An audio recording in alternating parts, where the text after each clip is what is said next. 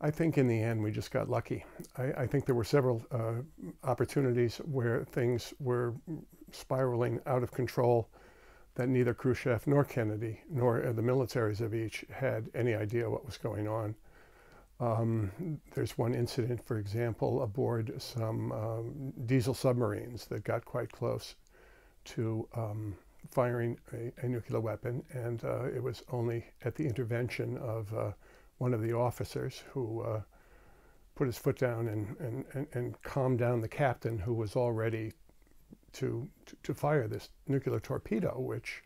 would have um, sunk definitely American ships in the uh, Caribbean uh, around Cuba and uh, uh, who knows what, what else, uh, and would have launched a series probably of escalating um, uses of nuclear weapons.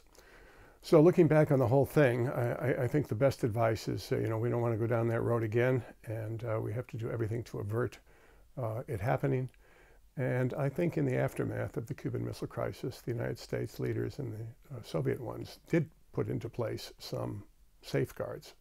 Uh, the following June, June 63, we have the, the hotline, which is a way to directly contact one another.